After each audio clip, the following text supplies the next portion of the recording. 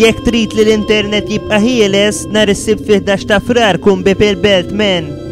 Narakom res! U jekk ma tiġux, nimpustalkom naqaġ bejna tas-sajt fil-letterbox. Heh!